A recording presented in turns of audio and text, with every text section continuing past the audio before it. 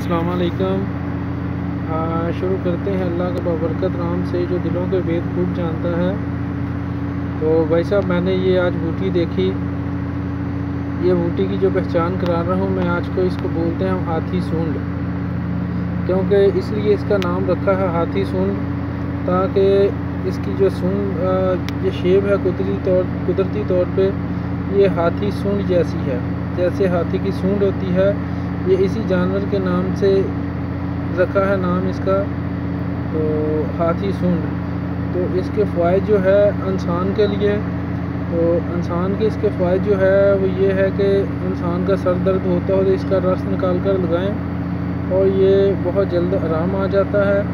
پھوڑے پھنسیوں کے لیے اس کا رس نکال کر لگانے سے پھوڑے پھنسیوں میں آرام آ جاتا ہے۔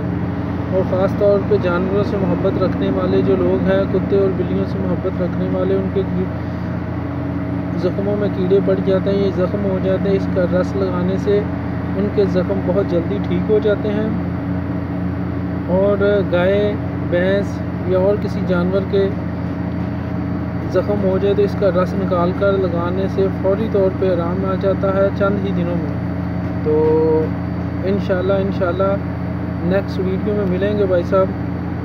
تو میں نے اس لیے سوچا، میں نے کہا جن لوگوں کی ان کی پہچان نہیں ہے ان کو پہچان کرا دوں تو یہ ہے ہاتھی سونڈی جی، ہاتھی سونڈ تو پھر ملیں گے نیکسٹ ویڈیو میں۔ تو اوکے، اللہ حافظ۔